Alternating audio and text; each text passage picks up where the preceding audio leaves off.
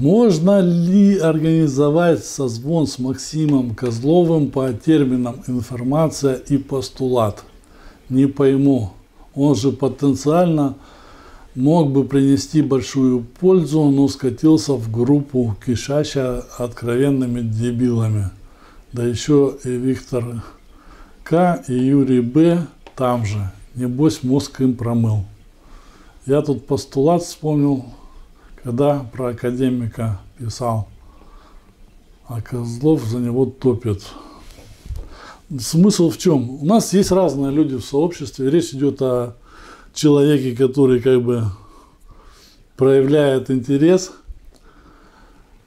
Часть людей, у нас это наши, вот прям совсем наши ребята, здравомыслящие, которые склонны логичному мышлению, а часть людей это бобры, люди с отклонениями мышления, которые прибиваются к сообществу или которых очень тянет в сообщество. Но они вот бобры, у них есть нарушение мышления. Э, и, ну, они, вот некоторые прямо рвутся и занимаются вот прям вредительской деятельностью. Вот представьте, бобер пришел в сообщество и начинает вредить склоки там разводить и так далее, интриги. Вот у нас Максим Козлов – это человек, который занимается для сообщества вредоносной деятельностью.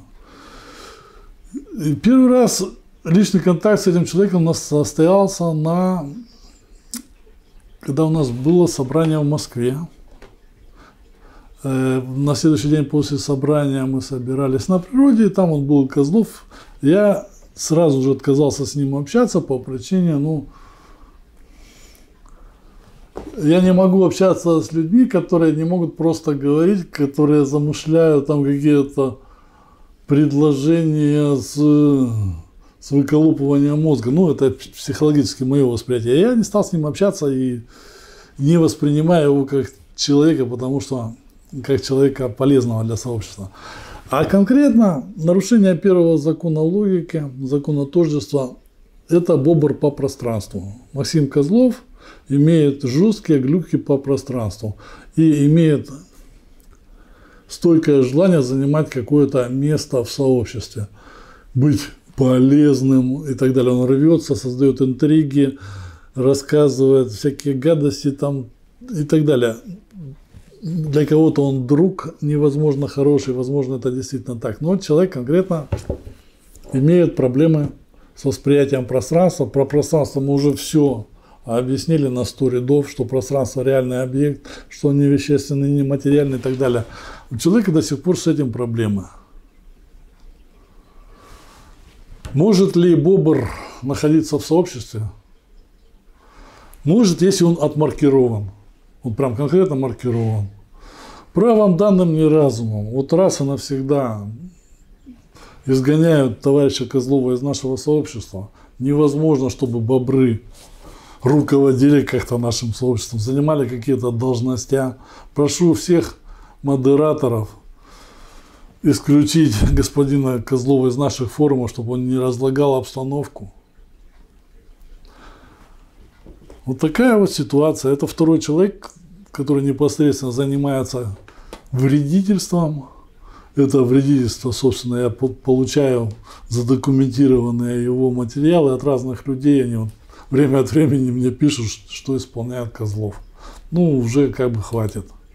Позанимался вредительством, хватит. Займись, пожалуйста, где-то чем-то другим. Не разлагайте обстановку, не мешайте. Вот.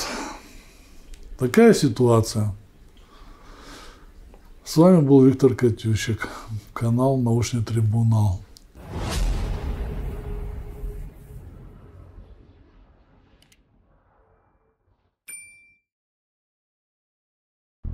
Иметь не одно значение, значит не иметь ни одного значения.